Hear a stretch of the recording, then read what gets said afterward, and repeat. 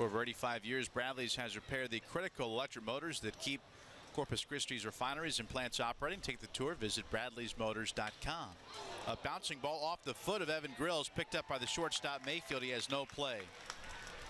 Across first base with a uh, single, Juan Herrera, and that's how this uh, Cardinals third begins.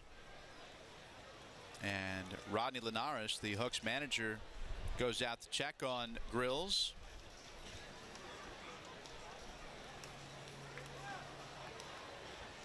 Grills talking with uh, the home plate umpire Cal McCready. Now they're chatting with Ceja and Cody Oaks. I think they're trying to discuss whether that ball ever hit the ground or if it came off the top of his foot. Now that's very interesting.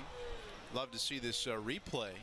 I thought Rodney was out to check on Grills. In fact, Hooks are contending this, uh, as Gene said, never hit the turf.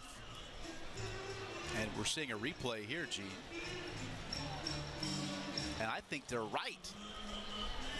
It hit the top of the shoe of Evan Grills.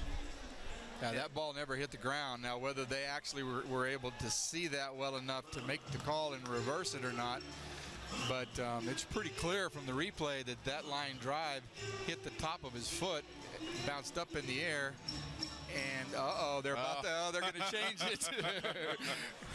they the uh, umpiring crew, uh, McCready and Ceja, went, went toward the Cardinal bench and then looked back to the uh, Springfield manager, Dann Bilardello, and Bilardello is furious. Bilardello is in the third base coach's box. Now he's confronting both Ceja and McCready here. And, of course, this umpiring crew has ejected two individuals in this series.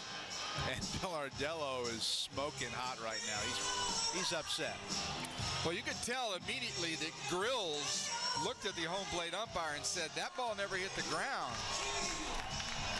But that was Grills' contention from the very beginning, or right after the play was over.